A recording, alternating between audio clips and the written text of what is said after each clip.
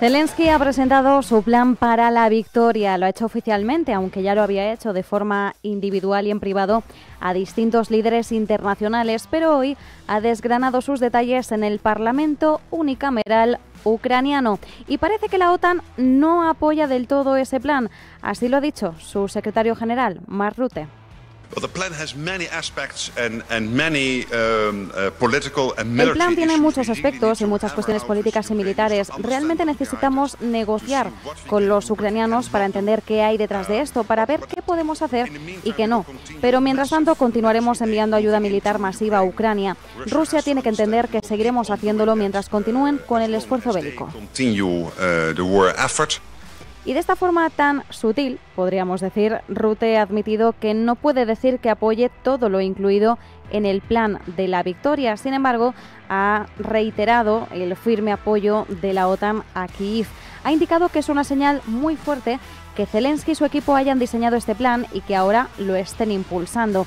Ha recalcado que los países aliados siguen respaldando firmemente a Ucrania para asegurarse de que Putin no se sale con la suya.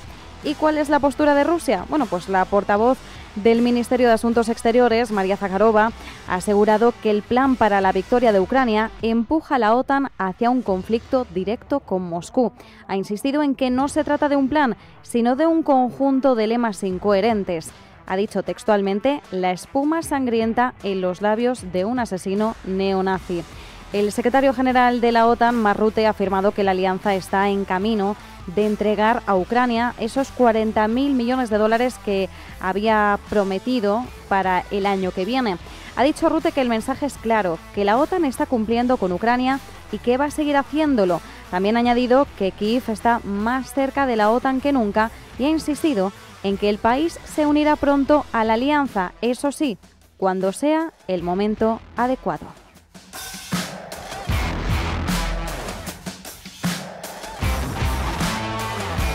Europa no está preparada para defenderse. Durante décadas, los miembros europeos de la OTAN fueron reduciendo el gasto en defensa, pero Europa ha recortado mucho más que Estados Unidos. Los presupuestos de defensa se convirtieron en un fondo del que sacar dinero para financiar partidas más urgentes. Lo que hay ahora es, según expertos en defensa, un ejército Potemkin, una expresión, la de Potemkin, que se usa para hablar de una maniobra militar, política o económica que tiene como objetivo ocultar o disfrazar la realidad. Así que un ejército Potemkin es, es aquel que no está preparado para librar una guerra prolongada y ganarla. En pocas palabras, el viejo continente no podría hacer frente a un invasor sin el apoyo de Estados Unidos. Y la perspectiva de una victoria de Trump hace que Europa se eche a temblar, porque sí, Trump ya ha dicho abiertamente que Europa es un aliado que se ha aprovechado de Estados Unidos más incluso que sus propios enemigos. ¿Sabes qué es muy duro? La Unión Europea. Nuestros bellísimos países europeos, maravillosos, maravillosos, si los sumas son casi de nuestro tamaño y nos tratan muy mal. Tenemos déficit. No quieren nada de nosotros. Tenemos un déficit que es una locura y no vamos a tener más. Les impondremos aranceles y ellos lo harán. ¿Sabes qué harán? Mercedes-Benz comenzará a construirse en Estados Unidos. Realmente ensamblan en Carolina del Sur, pero construyen todo en Alemania y luego lo ensamblan aquí salen con la suya porque dicen, no, sí, estamos construyendo coches, pero no lo están haciendo aquí. Oh, Estas eran las palabras de Donald Trump al editor jefe de Bloomberg en una entrevista que tuvo lugar este martes.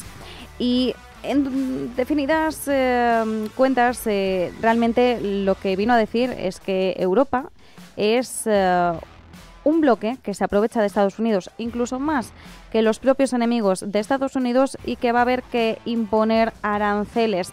Así que ya lo escuchan, con Trump Europa no tiene tan garantizada la ayuda de la que goza actualmente. Es más, recordemos que el expresidente no es partidario de la OTAN y que en varias ocasiones ha dado a entender que Estados Unidos debería salir de la alianza. Sin embargo, hay que dejar esto muy claro, salir de la OTAN no es tan fácil. Cualquier presidente necesita dos tercios de la Cámara para poder abandonar la alianza. Eso sí, aunque Trump no fuese capaz de salirse de la OTAN, sí que podría dañarla. Ha llegado a sugerir que si fuera reelegido, Estados Unidos solo acudiría en ayuda de los aliados que cumplieran con los objetivos de gasto militar. ¿Son solo habladurías? Hay quien dice que sí, pero también hay quienes creen que hay que tomarse en serio estas amenazas y avanzar en la llamada Europa de la defensa. Los comentarios más o menos provocativos, eso ya deciden ustedes, de Donald Trump, reflejan una corriente de pensamiento que podría quedarse enquistada en Estados Unidos, gane quien gane. Una corriente que defiende que los gobiernos europeos deberían construir sus propios ejércitos poderosos en lugar de mantener ajustados sus presupuestos de defensa. El secretario general de la OTAN, Marrute, ha dicho hoy que la OTAN debe aumentar su gasto en defensa y espera que los países aliados den luz verde a una nueva iniciativa que mejore la estandarización, porque eso reduciría los costes de adquisición de defensa y aumentaría la capacidad para luchar unidos. Eso requiere más capacidades de fuerzas e inversión para cumplir los ambiciosos objetivos establecidos por nuestros planes de defensa, ampliar la defensa, la capacidad industrial, cadenas de suministro más sólidas y aprovechar nuevas tecnologías para garantizar que sigamos siendo resilientes en todos los ámbitos. Ya hemos avanzado en todas estas líneas de esfuerzo, pero es necesario hacer más.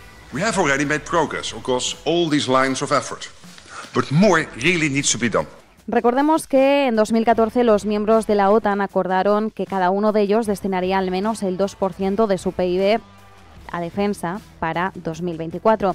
Se espera que unos 23 de los 32 aliados alcancen esa meta, pero aunque los miembros europeos alcanzaran en conjunto el nivel de Estados Unidos de alrededor del 3,5% del PIB, su gasto seguiría siendo inferior porque la economía de Europa ha estado en una senda de declive en relación con la de Estados Unidos desde la crisis financiera mundial de finales de la década de los 2000.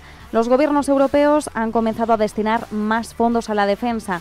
Gran parte de ese dinero se necesitará simplemente para reconstruir y reforzar los activos que ya tienen. Seguirán dependiendo de Estados Unidos en áreas críticas como la defensa aérea y antimisiles y los sistemas informáticos avanzados necesarios para llevar a cabo lo que conocemos como una guerra moderna.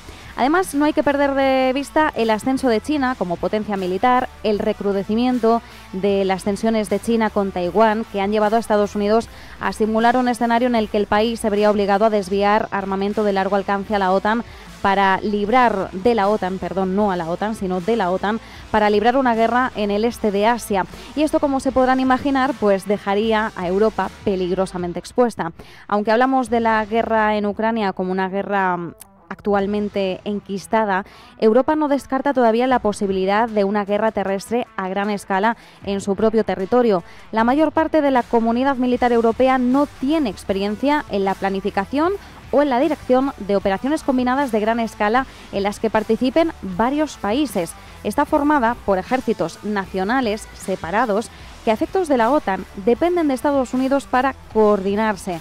En resumen, a día de hoy, Europa tiene muchos más deberes aparte de aumentar el gasto en defensa si quiere sobrevivir a un entorno geopolítico cada vez más convulso.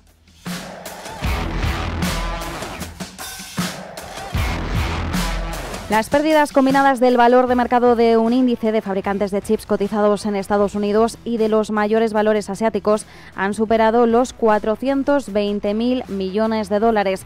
Y todo esto después del profit warning anunciado por ASML que se descalabraba este martes en bolsa, arrastrando con él a otras compañías del sector como Nvidia, AMD o NXP.